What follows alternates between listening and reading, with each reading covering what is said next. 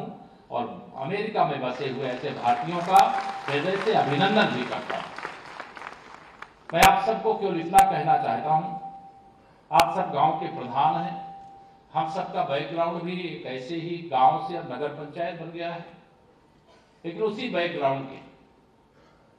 जो गरीब से गरीब व्यक्ति के जीवन की कठिनाइयाँ होती थी, उन कठिनाइयों को दूर करने के लिए माननीय प्रधानमंत्री श्री नरेंद्र मोदी जी के मार्गदर्शन में आदरणीय मुख्यमंत्री योगी आदित्यनाथ जी के नेतृत्व में उत्तर प्रदेश के जो गाँव का कायाकल्प हो रहा है,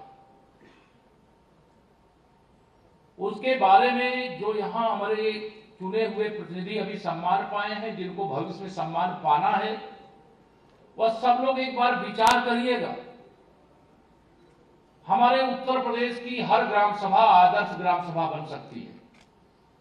हमारे उत्तर प्रदेश में नगर निकाय की दृष्टि से, नगर निगमों में तो स्मार्ट सिटी की योजना है, लेकिन हमारे हर ग्राम प्रधान को इतनी योजनाओं का लाभ मिल रहा है कि हर ग्राम सभा हमारा स्मार्ट विलेज बन सकता है, स्मार्ट गाँव बन सकता है। जो गरीब आदमी गाँव में रहने वाला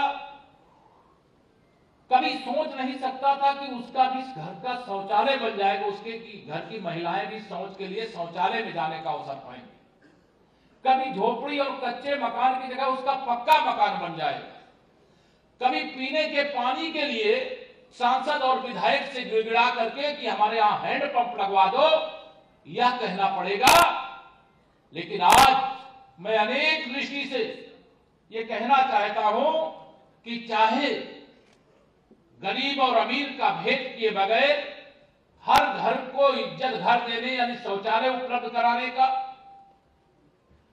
प्रधानमंत्री आवास, मुख्यमंत्री आवास के माध्यम से जो झोपड़ी में रह रहा उसे आवास उपलब्ध कराने का और आवास के साथ साथ केवल आवास कहना ही पर्याप्त नहीं होगा, उसके साथ शौचालय है, उसके साथ गैस का कनेक्शन है, बिजली का कनेक्शन है, आयुष्मान भारत का पाँच लाख रुपए का कार्ड है। और भी अनेक सुविधाएँ अपना ही घर बना रहे हो, और 90 दिन की मजदूरी आपके खाते में सरकार मनरेगा के माध्यम से भेजने का काम करती है। हर घर नल से जल, शायद विश्व की सबसे बड़ी क्रांतिकारी योजना है। लेकिन मैं आप सभी ग्राम प्रधानों से अपनी बात समाप्त करूँगा आदरणीय मुख्यमंत्री जी बोलेंगे।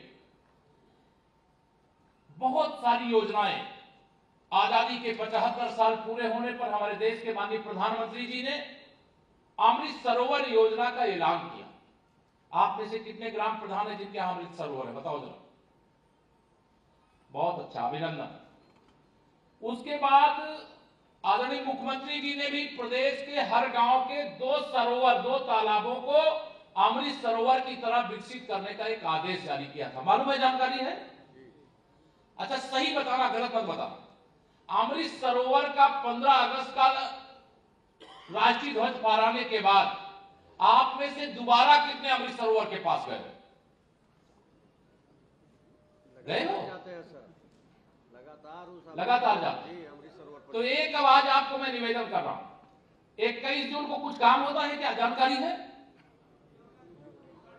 तो इस बार 21 जून को विश्व योग दिवस पर अमृत सरोवर पर चूँकि संख्या गाँव की बहुत ज़्यादा होती है कोई स्कूल में करेगा कोई अमृत सरोवर पे करेगा कोई मंदिर के पास करेगा लेकिन 21 जून को अमृत सरोवर पर विश्व योग दिवस के अवसर पर योग के कार्यक्रम को आयोजित करने का संकल्प लेकर के यहाँ से जा रहा हूँ। हर हर महादेव अब मैं जानता हूँ, देखो एक बात आपको और कह करके बात खत्म कर दूँगा। प्रधानमंत्री आवास योजना का लाभ पाने से बहुत सारे जो पात्र लोग थे, आज भी वंचित हैं। सही है कि नहीं सही? है और वह बीपीएल सूची बनाते समय कोई ना कोई ग्राम प्रधान रहा होगा। ये गड़बड़ी, ये अन्याय किसने किया होगा जो उस समय 2011 में प्रधान रहा होगा, उसने किया होगा। मैं आप सबको ये आह्वान करना चाहता हूँ, जो गलती 2011 में कोई ग्राम प्रधान रहा है, उसने किया है, वह गलती आप मत करना। जो गरीब कल्याण की योजनाएँ हैं, वह गरीब तक पहुँचे, उसमें कोई गड़बड़ी मत होने देना। अमृत सरोवर की बात इसलिए की जा रही कि तालाब की ज़मीन पर अवैध कब्जा है तो एक एक इंच ज़मीन खाली होनी चाहिए, वो किसी के बाप की बपौती नहीं, वो ग्राम की संपत्ति है। चकमार्ग खाली होना चाहिए? चारागाह की ज़मीन खाली होनी चाहिए खालियान की ज़मीन खाली होनी चाहिए उस पर अवैध कब्जे नहीं रहने चाहिए।